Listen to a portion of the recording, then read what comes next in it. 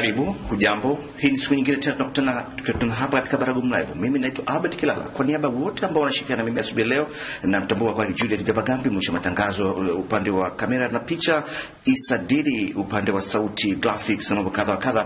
Uh, kakangu ndugu yangu Silili Linus yuko hapa ananisaidia.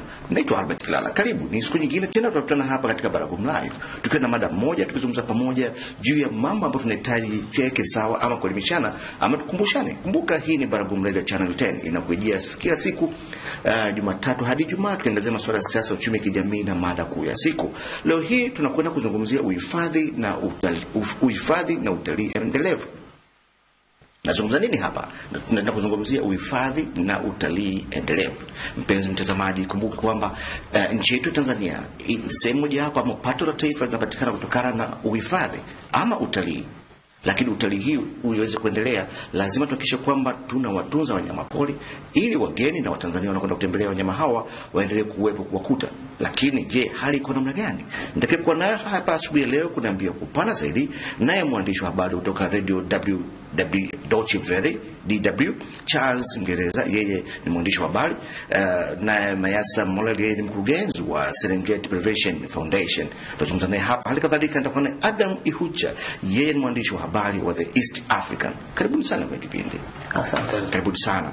Ni matumaini yangu kwamba mtakuwa na taarifa za kutosha ambazo tunaweza ku, ku, kushare pamoja na watazamaji, hata kadhalika tuweze kushea na viongozi ambao wapo madarakani hivi sasa watakuwa wanafuta kipindi hiki, na hali kadhalika wale wanaokuja. Lengo ni kutafuta kiongozi ambaye tutamkabidhi wanyamapori wetu ili kusudi siku akiwa anatoka kama vile ilivyo leo hii Mheshimiwa Rais Jakaya Mrisho anavyotoka madarakani, tutamuuliza tena, je, tulikabidhi wanyamapori wangapi na sofa wako wangapi?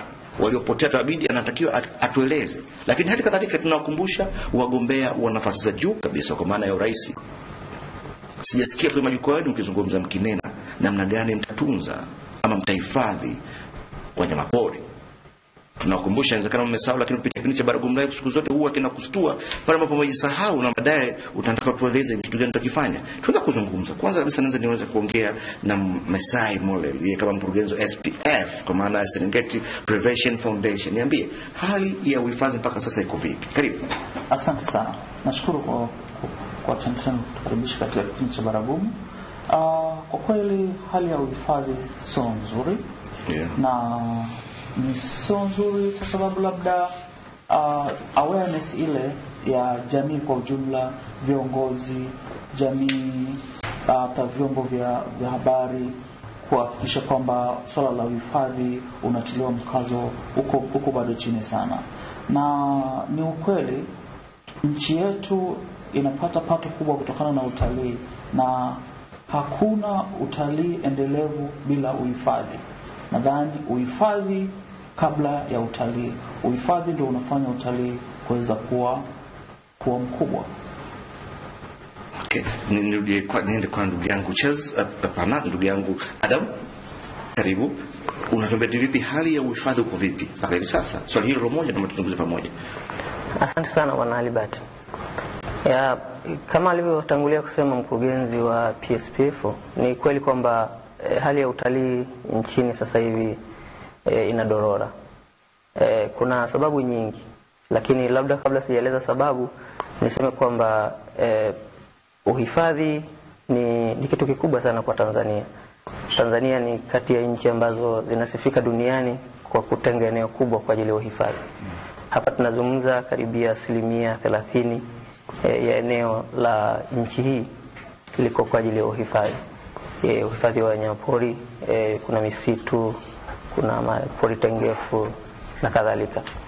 E, pamoja na e, ukweli huo ni kwamba sasa hivi pia Tanzania imekuwa maarufu sana e, sio kwa jambo zuri, lakini kwa sababu ya matatizo ya uhifadhi. E, moja kati ya hayo ni tatizo la ujangili. E, unafahamu sasa hivi duniani kote Tanzania inatajwa kwamba e, hii ndio kitovu cha mauaji ya wanyamapori hasa tembo. E, ni tatizo kubwa ambalo nafikiri linakabili uhifadhi sasa hivi kuliko jambo lingine. Kuna matatizo mengine kama kupoteza e, maeneo ya asili e, ya wanyamapori e, kwa sababu ya ongezeko kubwa la binadamu na shughuli zao kama kilimo. E, watu wanataka kuishi kumekuwa na changamoto kubwa sana, pressure ni kubwa kwenye maeneo ya hifadhi eh, kwa sababu ya, ya, ya, ya, ya population inavyoongezeka eh, lakini kuna matatizo mengine ambayo eh, Watanzania wenyewe tuna ugomvi na wanyama wetu. Wakati mwingine wakitoka kwenda kutafuta chakula chao, wakikutana na ng'ombe wetu wakiwala, tunarudi tunawaua. E, Kwa hiyo kuna changamoto nyingi ambazo nafikiri tuko hapa kwa ajili ya kuzizungumza, kukumbushana na kuona eh, tunawezaje ku, kukabiliana nazo tuweze kwenda mbele kama taifa kwa ajili ya maslahi mapana eh, ya utalii na vitu kama hivyo. Ya, mpenzi mtazamaji, kumbuke tumekuwa tukipata sifa kubwa sana za kimataifa kwa Tanzania nchi ya amani, lakini amani yetu kuna sio ina madoa, ina maua. Uh, wanyama wetu si salama tena. Hali kadhalika si kwa wanyama tu, ndugu zetu albino si salama tena. Ikumbuke nilikuwa na kipindi kama hiki hapa nikizungumzia usalama wa ndugu zetu albino, hasa kuelekea uchaguzi mkuu. Je, wanaotaka ridhaa ya kuchukua nchi je, wamejipanga vipi kuhakikisha kwamba ndugu zetu albino wanakuwa kwa salama. Mikakati gani imefanywa? Ofisi ya waziri mkuu, ofisi ambayo inasimamia maafa, imefanya nini mpaka hivi sasa? Lakini naambia kwamba ofisi imeendelea kwa kimya, haikutoa njia madhubuti ama ya makini zaidi kuhakikisha kwamba ndugu zetu albino wanapotea. Lakini sasa leo hii tunaongelea hapa nchi ya Tanzania, si tu kuwa maarufu kwa amani, lakini amani hii bado inatiwa mashaka, akatua inaendelea kutiwa mashaka baadhi ya watu ambao wanakuwa sio amani, lakini pia wanyama wetu sasa imekuwa ni shida eh. Takwimu zinaonyesha kwamba 1977 mpaka 80 takribani wanyama poli kwa maana ya tembo eh, hamsini elfu walipotea, ambao sasa na asili- asilimia ah, hamsini ya wanyama hao kupotea, lakini bado kuna takwimu zinaendelea kutishia zaidi kuhusu wanyama hawa pori. Nani anatakiwa pewe kazi? Lazima tumkabidhi mkuu wa nchi. Sasa nazungumza wanasiasa mnaogombea nafasi kubwa kabisa ya uongozi wa nchi hii mna sera zipi zinazungumza? Baadhi ya vyama vimetamka namna gani vitaenda kuendeleza uhifadhi, lakini vyama vingine je? Na utekelezaji na sio sera za kwenye makaratasi ziko namna gani? Nikukaribishe ndugu yangu kakaangu Adam. Uh, Adam, tuzungumze pamoja. Karibu. Naam, ah, kama ambavyo Hali kama ulivyozungumzia swali lile lile, hali uhifadhi iko vipi?